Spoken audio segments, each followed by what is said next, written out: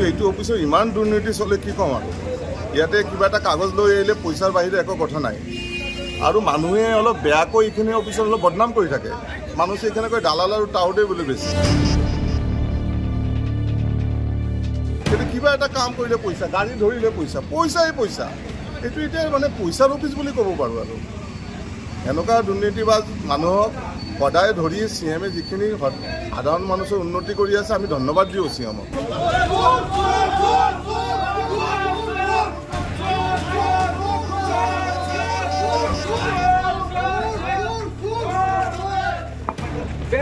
Review না?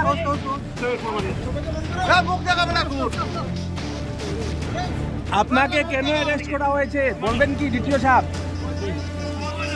আপনি তো নিজেকে স্বচ্ছ বলে দাবি করেন জনমানুষে আপনাকে কেন গ্রেফতার করা হয়েছে সেটা বলবেন কি?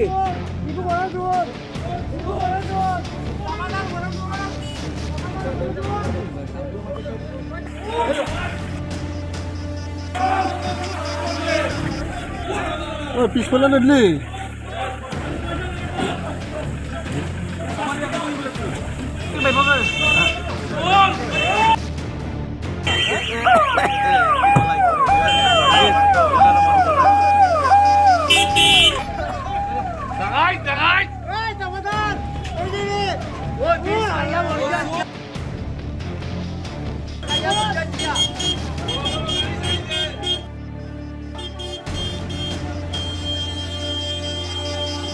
নিবাৰক শাখাৰ দলে যে অভিযান চলাইছিলে তেওঁলোকে কিন্তু এই অভিযান সন্দৰ্ভত একো কোৱা নাই। তেওঁলোকে সদায় সকলো তথ্য দিয়াৰ পৰা বিৰত থাকে আৰু এনেই হৈছে কোনো তথ্য দিয়া নাই।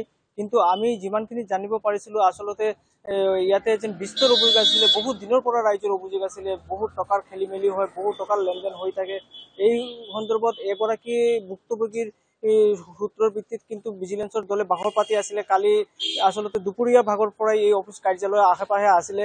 আৰু যি সময়ত দহ হাজাৰ টকা ঘোচ দিয়ে যে আবু চালে জাকাৰিয়াক যিজন এনফৰ্চমেণ্ট চেকাৰ আচলতে তেওঁক ঘোচ দিয়ে আৰু এই সময়তে কিন্তু তেওঁক হাতে উঠে ধৰা পৰায় ইয়াৰ পিছতে কিন্তু যেন সন্ধিয়াৰ পৰা প্ৰায় ৰাতি চাৰে দহটালৈকে দীৰ্ঘ সময় কিন্তু এই কাৰ্যালয়ত দৰ্জা বন্ধ কৰি অভিযান চলে আৰু সকলোকে সকলো কৰ্মচাৰীক তন্ন তন্নকৈ সকলক তদন্ত চলোৱা হয় আৰু পৰৱৰ্তী যেন জাকাৰিয়া যিজন এই এই জাকাৰিয়াই কিন্তু যেন দ্বিতীয় যিগৰাকী চাহাব- চাহাবুদ্দিন তাপাদাৰ তেওঁক জগৰীয়া কৰিছে যেন তেওঁ দহ হাজাৰ টকাৰ তেওঁৰ কথাত তেওঁ লৈ থাকে বুলি স্বীকাৰ কৰিছিলে।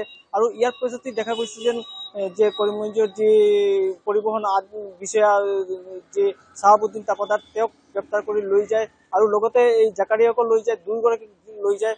কিন্তু এই সময়ত কিন্তু অভিযান কিন্তু কৰিমগঞ্জৰ যেন বাসগৃহ কৰিমগঞ্জত আচলতে দুয়োগৰাকীৰ এ, ভাড়াতীয়া বাসগৃহ ভাড়াতীয়া বাসগৃহত অভিযান চলাইছিলে আৰু লগতে গুৱাহাটীত এ, ছয় মাইলৰ বাসগৃহতো অভিযান চলাইছিলে। কৰিমগঞ্জৰ বাসগৃহত আমি যিমানখিনি জানিব পাৰিছো ইমান একো পোৱা নাই। আচলতে এই যে দ্বিতীয়গৰাকী তেওঁ কৰিমগঞ্জত কেৱল ভাড়াতে থাকে আৰু শিলচৰত ঘৰ আছে আমি জানো আৰু গুৱাহাটীত ঘৰ আছে। গতিকে ইয়াতে বিশেষ একো পোৱা নাই। আৰু আমি যিমানখিনি জানিব পাৰিছো যে ৰাতিৰ ভাগতে কিন্তু তেওঁলোকক গুৱাহাটীত লৈ যোৱা হ'ব।